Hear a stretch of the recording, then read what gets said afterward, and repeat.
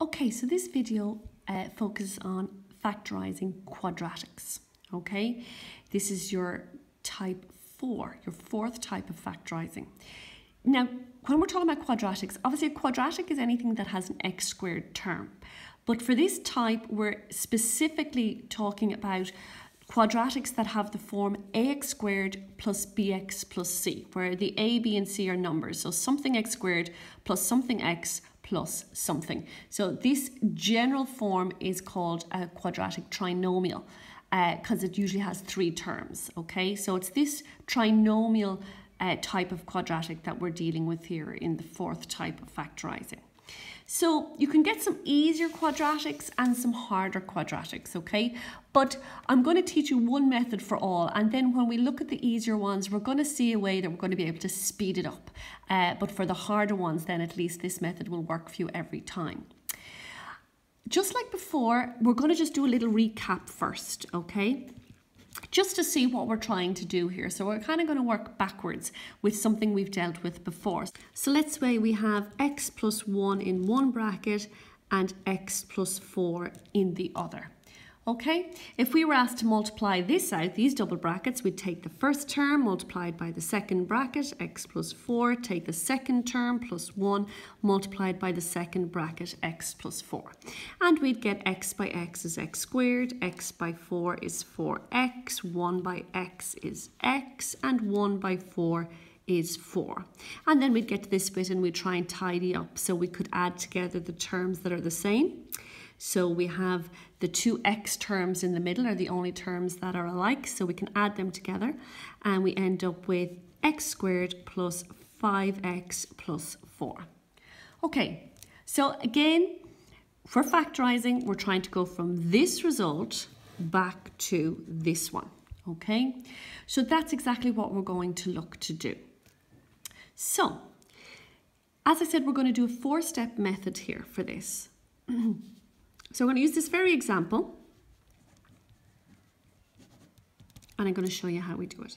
So x squared plus 5x plus 4. Your first step is to multiply the first number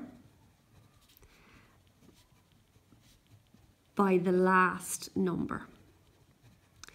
Now, the first number, I'm talking about the first term, by the way, um, it doesn't look like there's a number here. But of course, if you have an x squared on its own, it implies there is a 1 in front of it. It's a 1x squared because if it was 2x squared, the 2 would definitely be there. And if it was 5x squared, the 5 would be there. If it's just x squared on its own, it's just 1. There's 1x squared. So that's the first number I'm talking about here, okay? If it's just x squared you have, the number is 1. And the last number is 4. So the first step is 1 times 4, which is, of course, 4. Okay, so step two is to take this number and we're going to get factors of this number. So get factors of this,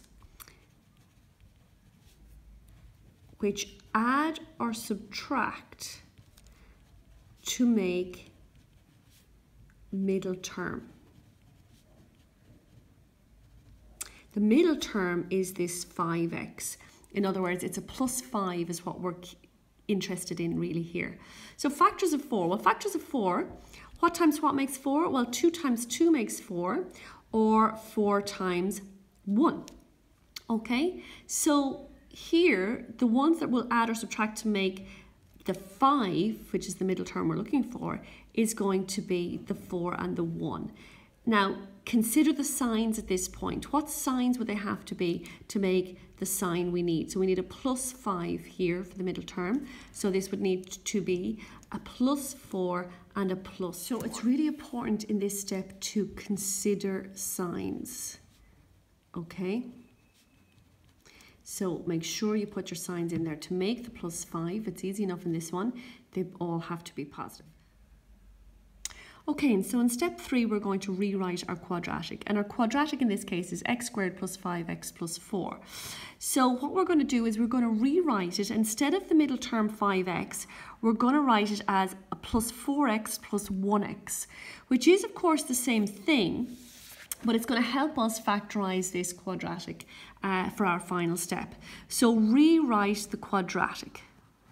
Okay, so in other words, using the factors that you've considered in step two uh, to break apart the middle term. So um, if you remember back to our original example back up here, this is where we're, we're getting from this last step now to this step, you see, breaking up the 5x into 4x plus 1x.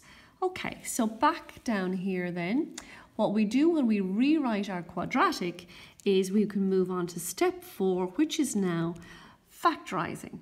Just as you would your grouped common terms when you have four terms, it's your grouped four, your grouped common terms type of factorizing. So So taking your x squared plus 4x plus x plus 4, splitting it, looking at the first two terms, common to both is x, and what you would need to multiply back again to get x squared, of course, is x times x, x squared, plus 4 times x will give you the 4x. Common to x plus 4 over here, well, nothing is really looking like it's common at all to both x plus 4. And if that is the case, what you can always pull out is a 1. 1 is always common to everything. So again, leave that sign till the end. And what we'll do is we will open up our bracket. We know it's got to be the same here, x plus 4. And of course, what will work, it's all positive, so this one's quite easy. Plus 1 times x is 1x, and plus 1 times 4 is, of course, 4. So just like with your factorising grouped common terms, what has been split up is always the first bracket, so your x plus 1, and the repeated bracket is always the second bracket. And of course, that is your final answer. That's exactly where we were trying to get x plus 1 times x plus 4 multiplied out. Your first step multiplying them out will give you that. The next step multiplying out would give you that. And the final step then when you would tidy everything up together would give you, of course, the x squared plus 5x plus 4 that you had at the start. So the final answer is x plus 1 in one bracket, x plus 4 in the other.